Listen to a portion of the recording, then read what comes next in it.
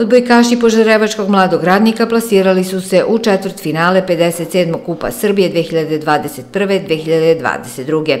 Požarevački superligaš nadigrao je borac iz Starčeva, člana prve lige Srbije, rezultatom 3 prema 1, po setovima 25-23, 25-9, 22-25 i 25-17.